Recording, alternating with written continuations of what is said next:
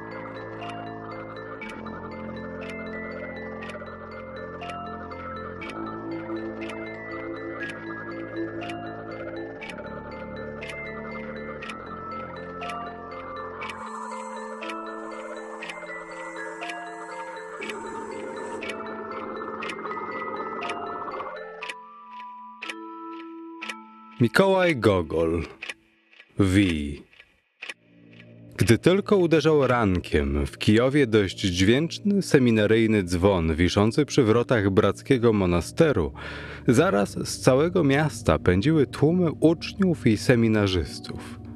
Gramatycy, retorzy, studenci filozofii i teologii z zeszytami pod pachą ciągnęli do klas.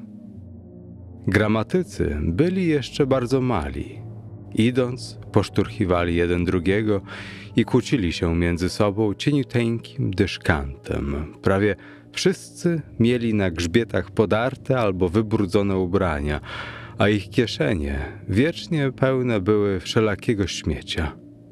Kości do gry, piszczałek z ptasich piór, niedojedzonego placka, a czasami nawet maleńkich wróbelków, z których jeden, nagle ćwierknąwszy pośród nadzwyczajnej ciszy w klasie, dostarczał swojemu opiekunowi solidnego walenia linijką po rękach, a bywało, że i wiśniowych rózek. Retorzy szli stateczniej. Szaty mieli często zupełnie całe, ale za to na twarzy prawie zawsze widniała jakaś ozdoba w kształcie retorycznego tropu. Albo jedno oko uciekało pod samo czoło, albo zamiast warki potężny bąbel, albo jakiś inny znak szczególny. Ci rozmawiali i zaklinali się między sobą tenorem. Filozofowie brali całą oktawę niżej. W ich kieszeniach oprócz mocnych tytoniowych korzonków nie było nic. Nie robili żadnych zapasów i wszystko, co im się trafiło, pożerali natychmiast. Czuć było od nich fajkę i gorzałkę, nieraz tak mocno, że przechodzący obok rzemieślnik, zatrzymawszy się, długo jeszcze wciągał powietrze, niczym pies gończy. Rynek, jak zwykle o tej porze, dopiero zaczynał się ożywiać i przekupki handlujące bublikami, bułkami, pestkami arbuzów i makowcami chwytały za poły tych, u których owe poły uszyte były z cieniutkiego sukna albo jakiejś bawełnianej tkaniny. Panowie, panowie, tutaj, tutaj! Trajkotały ze wszystkich stron. Bubliki, makowce, świeżutkie kołacze, przepyszne, na miodzie. Sama piekłam. Idna, podniósłszy coś długiego, skręconego z ciasta, krzyczała: Hałka, panowie, kupcie hałkę! Nie kupujcie od niej niczego. Patrzcie, jaka wstrętna i nos ma brzydki, i ręce brudne. Jednakowoż filozofów i teologów bały się zaczepiać, dlatego że filozofowie i teologowie zawsze lubili brać tylko na próbę, a przy tym pełną garścią. Po przyjściu do seminarium cała gromada rozchodziła się po klasach, znajdujących się w dość niskich, lecz za to przestronnych salach, zaopatrzonych w niewielkie okna, szerokie drzwi i brudne ławki. Klasa napełniała się z nagła wielogłosowym brzęczeniem. Audytorzy wysłuchiwali swoich uczniów. Dźwięczny dyszkant, gramatyka nakładał się właśnie na brzęk szkła, wstawionego w maleńkie okna i szkło odpowiadało niemal tym samym tonem. W kącie buczał retor, którego gęba i tłuste wargi powinny przynależeć co najmniej do filozofii. Buczał niskim głosem i tylko słychać było z oddali bu, bu, bu. Audytorzy, słuchając lekcji, patrzyli jednym okiem pod ławę, gdzie z kieszeni potulnego seminarzysty wyglądała bułka, pieróg bądź też pestki z dyni. Jeśli cała ta uczona hałastra zdążyła przyjść trochę wcześniej lub jeśli wiedzieli dobrze, że profesorowie pojawią się później niż zwykle, za powszechnym porozumieniem urządzano bój. W tym boju powinni byli uczestniczyć wszyscy, także cenzorzy, zobowiązani do pilnowania porządku i obyczajności całego uczącego się stanu. Dwaj teologowie zazwyczaj decydowali, według jakiego planu ma toczyć się bitwa. Czy każda klasa powinna walczyć osobno, czy wszyscy mają podzielić się na dwie połowy bursę i seminarium. W każdym wypadku zaczynali gramatycy, a kiedy tylko wtrącali się retorzy, dawali drapaka, by zająć miejsce na podwyższeniach i stamtąd przyglądać się starciu. Potem wkraczała filozofia z długimi, czarnymi wąsami, a na koniec i teologia w okropnych szarawatach i z tłustymi szyjami. Zazwyczaj kończyło się tym, że teologia tłukła wszystkich, a filozofia, masując obolałe boki, zostawała wyparta do klasy i tam odpoczywała, zajmując miejsca w ławkach. Profesor, wchodzący do sali, sam niegdyś uczestniczący w podobnych potyczkach, w jednej chwili po rozpalonych twarzach swoich słuchaczy poznawał, że bój był setny i w tym czasie, kiedy siekł rózgami po palcach retorykę, w innej klasie inny nauczyciel łoił drewnianą łopatką po rękach filozofię. Ze studentami teologii postępowano zupełnie innym sposobem. Według powiedzenia profesora teologii odsypywało się im po miarce grubego grochu, co oznaczało porządne skórzane baty. W uroczystości i święta seminarzyści i bursacy rozchodzili się po domach z wertepami. Niekiedy odgrywali komedię i w takim wypadku zawsze wyróżniał się jakiś teolog, wzrostem niewiele mniejszy od kijowskiej dzwonnicy, przedstawiający Herodiadę albo Putyfarową, żonę egipskiego dworzanina. W nagrodę otrzymywali rąbek płótna, worek prosa bądź też połówkę gotowanej gęsi i tym podobne rarytasy. Całe to uczone bractwo, tak seminarium, jak i bursa, które odnosiło się do siebie z jakąś dziedziczną wrogością, było nadzwyczaj biedne, jeśli idzie o środki utrzymania, a przy tym niesłychanie żarłoczne. Także policzenie, ile klusek każdy z nich pałaszował podczas wieczerzy, byłoby sprawą absolutnie niemożliwą. Dlatego dobrowolne ofiary bogatych właścicieli nie mogły być wystarczające. W tej sytuacji senat, składający się z filozofów i teologów, wysyłał gramatyków i retorów pod przewodnictwem jednego filozofa, bywało, że i sam się przyłączał, z workami na plecach pustoszyć cudze ogrody. Wtedy w bursie pojawiała się kasza z dyni. Senatorowie tak bardzo obiadali się arbuzami i dyniami, że na drugi dzień audytorzy słyszeli zamiast jednej dwie lekcje. Jedna rozlegała się z ust, druga burczała w senatorskim żołądku. Bursacy i seminarzyści nosili szaty podobne do długich surdutów, rozpościerających się po wsze czasy.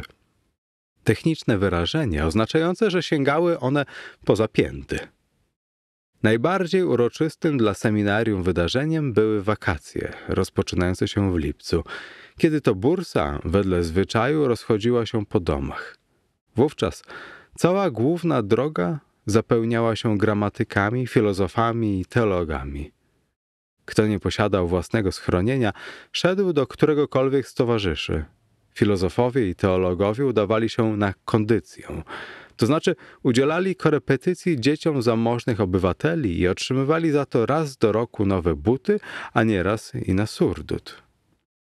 Cała ta czereda ciągnęła razem pełnym taborem ważąc sobie trawę i nocując w polu. Każdy taszczył ze sobą worek, w którym znajdowała się jedna koszula i para onuc. Teologowie byli szczególnie oszczędni i gospodarni, żeby nie zedrzeć butów. Zdejmowali je, wieszali na kiju i nieśli na plecach, zwłaszcza wtedy, gdy było błoto. Wówczas, podwinąwszy spodnie do kolan, nieustraszenie brodzili po kałużach. Kiedy tylko dostrzegali w pobliżu jakąś osadę, natychmiast zbaczali z głównej drogi, zbliżali się do najokazalszej chaty, stawali rzędem pod oknami i pełną piersią zaczynali śpiewać kantyk. Gospodarz chałupy, jakiś stary chłop kozak, przysłuchiwał im się długo. Podparszy się obiema rękami, potem wzdychał gorzko i mówił do swojej żony: Żonko, pewnie co rozumnie śpiewają. Wynieś im słoniny i co tam jeszcze mamy. I cała miska pierogów znikała we wnętrzu studenckiego worka. Porządny kawał słoniny, kilka pszenicznych bułek, a czasami i skrępowana kura zajmowały miejsca obok. Pokrzepiwszy się takim zapasem, gramatycy, retorzy, filozofowie i teologowie kontynuowali wędrówkę. Jednakże im dalej szli, tym bardziej przerzedzała się ich gromada. Wszyscy prawie porozchodzili się po domach. Zostawali tylko ci, których gniazda rodzinne leżały najdalej. Pewnego razu, w czasie podobnej pielgrzymki, trzej seminarzyści zeszli z głównej drogi z myślą, by w pierwszym napotkanym hutorze zaopatrzyć się w prowiant, worek bowiem już od dawna mieli pusty. Byli to teolog Halawa, filozof Homa Brutus i retor Tiberii Chorobiec. Teolog był postawnym, barczystym mężczyzną i miał niezwykle dziwny zwyczaj. Kładł wszystko, cokolwiek leżało w zasięgu jego wzroku. W przeciwnym razie charakter jego był wyjątkowo posępny i kiedy upijał się i chował w burzannie, całe seminarium musiało nieźle się natrudzić, żeby go tam odnaleźć. Filozof Homa Brutus był człowiekiem wesołego usposobienia. Bardzo lubił wylegiwać się i palić fajkę. Jeśli już pił, to niezawodnie najmował muzykantów i odtańcowywał trepaka. Często kosztował grubego grochu, ale zawsze z filozoficznym nastawieniem, mówiąc, że co ma być, to będzie. Retor Tiberii Gorobiec nie miał jeszcze prawa do noszenia wąsów, picia gorzałki i palenia fajki – Posiadał tylko osełedec i dlatego charakter jego w tym czasie mało jeszcze był rozwinięty. Sądząc jednak po ogromnych guzach na czole, z którymi często pojawiał się w klasie, można było wnosić, iż będzie z niego tęgi wojak. Teolog Halawa i filozof Homa często targali go za czub na znak swojej protekcji i używali w charakterze posła. Był już wieczór, kiedy skręcili z głównej drogi. Słońce dopiero co zaszło i ciepło dnia czuć było jeszcze w powietrzu. Teolog i filozof szli w milczeniu, paląc fajki. Retor Tiberii Gorobiec strącał kijem główki chwastów rosnących na skraju drogi. Droga wiodła między rozrzuconymi kępami dębów i leszczyny, pokrywającymi łąkę. Łagodne zbocza i niewielkie pagórki zielone i okrągłe jak kopuły Niekiedy przecinały równinę. Prześwitujące w dwóch miejscach pole z dojrzewającym żytem dawało znać, że wkrótce powinna pojawić się jakaś wieś. Minęła jednak godzina od czasu, gdy zauważyli zbożowe łany, a jeszcze nie widać było żadnych ludzkich siedzib. Zmierzch już całkiem poczernił niebo i tylko na zachodzie gasły ostatki purpurowej zorzy. Co licha, odezwał się filozof Homa Brutus. Wydawało się, że zaraz będzie hutor. Teolog pomilczał, rozejrzał się po okolicy, wsadził w usta swoją fajeczkę i ruszył w dalszą drogę. Dali Bóg, powiedział ponownie zatrzymawszy się filozof, ani żywej duszy. A może trafi się dalej jaka osada? powiedział teolog, nie wyjmując fajki. Jednakowoż zapadła już noc i to noc dosyć ciemna. Niewielkie chmury zagęściły mrok i sądząc po wszystkich znakach, nie należało oczekiwać ani gwiazd, ani księżyca. Seminarzyści spostrzegli, że zabłądzili i już od dłuższego czasu nie szli gościńcem. Filozof, poszperawszy po omacku nogami we wszystkie strony, na koniec powiedział ostro: A gdzie jest droga? Teolog pomilczał i, podumawszy chwilę, dorzucił: Ta ciemna noc. Retor odszedł na bok i starał się, czołgając po ziemi, wymacać trakt, lecz jego ręce trafiały tylko w lisie nory. Wszędzie wokół był jedynie step, po którym zdawało się nikt nie jeździł. Wędrowcy zdobyli się jeszcze na wysiłek i poszli nieco do przodu, ale wszędzie wokół była taka sama dzicz. Filozof spróbował nawoływać, jednak jego głos ucichł w oddali, nie napotykając żadnej odpowiedzi. Po pewnym czasie tylko dały się słyszeć słabe jęki, przypominające wycie wilka. Co ci dopiero? I co teraz? powiedział filozof. Jak to co? Pozostaje nam nocować w polu. Odparł teolog i zaczął szukać po kieszeni krzesiwa, żeby ponownie zapalić swoją fajkę. Jednak filozof nie mógł się pogodzić z takim stanem rzeczy. Miał bowiem zwyczaj ładować na noc półpudowy kawał chleba wraz z ćwiartką słoniny i odczuwał obecnie nieznośną pustkę w żołądku. Przy tym, pomimo swojego wesołego usposobienia, bał się jednak troszkę wilków. Nie, halawa, nie można, powiedział.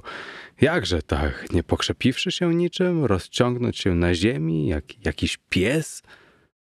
Popróbujmy jeszcze, może natrafimy na ludzką siedzibę i choć czarkę gorzałki uda się na noc wypić. Przy słowie gorzałka teolog splunął na bok i dorzucił. Jasne, nie ma co zostawać w polu. Seminarzyści poszli naprzód i wkrótce ku ogromnej ich radości zdało im się, że w oddali słyszą szczekanie. Posłuchawszy, z której strony dobiega, żwawo ruszyli w drogę i przeszedłszy jeszcze kawałek, zobaczyli malutkie światełko. Hutor, daj Bóg hutor! ucieszył się filozof.